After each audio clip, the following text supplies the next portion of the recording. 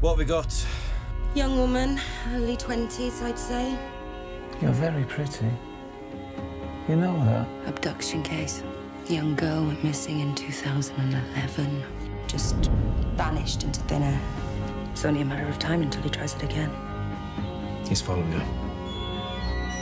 Maybe we got it wrong. Why did you come here? Why did you leave me alone? How do we live with those mistakes? Hidden starts Wednesday, the 6th of June on BBC One Wales. I'm glad you came.